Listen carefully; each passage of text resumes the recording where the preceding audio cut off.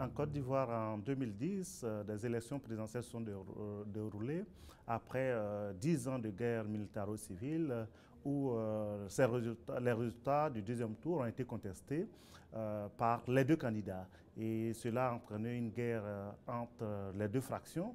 Et il y a eu beaucoup de violations des droits humains en Côte d'Ivoire pendant cette période qui a duré de décembre 2010 à avril 2011.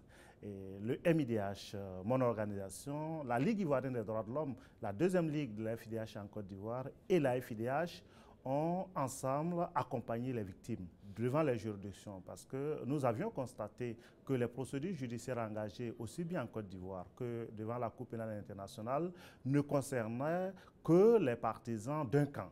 Et donc nous avons souhaité que tous les camps puissent être poursuivis. Et nous avons mis ensemble nos énergies et nous avons accompagné 75 victimes devant euh, les juridictions nationales, ce qui permet aujourd'hui d'équilibrer ou à tout le moins d'étendre les poursuites à l'ensemble euh, des acteurs des violations des droits de l'homme.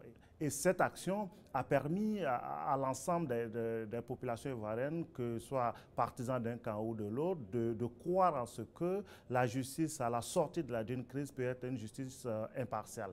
Pour nous, c'est une action importante parce que dans le processus de sortie des crises et surtout dans le processus de réconciliation, lorsqu'un camp a l'impression euh, que euh, seuls ses partisans sont poursuivis, que les autres, ceux qui ont gagné euh, la guerre, sont protégés. C'est comme la guerre, la, justice des vainqueurs contre les vaincus. Cela peut entraîner des ressentissements et nous replonger la Côte d'Ivoire dans une autre crise. donc c'est une action pour nous majeure, positive, qui se poursuit et qui, nous espérons, pourra permettre en tout cas à, la justice ivoirienne d'être équitable et de, pour rendre des décisions qui seront acceptées pour tous. La FIDH représente pour nous un bouclier contre des atteintes aux droits des défenseurs que nous constituons dans nos pays euh, respectifs. Particulièrement dans le cas de la Côte d'Ivoire, il est deux fois difficile pour nous d'avoir des contacts avec des autorités, mais l'arrivée ou la présence de délégations ou de membres de mission de la FIDH nous ouvre des opportunités, nous ouvre des postes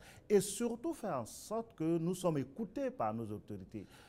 Euh, quand j'ai eu des, problèmes en Côte d'Ivoire euh, euh, avec les autorités, euh, la FIDH m'a permis de quitter la Côte d'Ivoire, non seulement de quitter les griffes de, ceux qui m'avaient enlevé, mais également de me mettre en sécurité à Paris pour que pendant cette période, mon intégrité physique puisse être maintenue.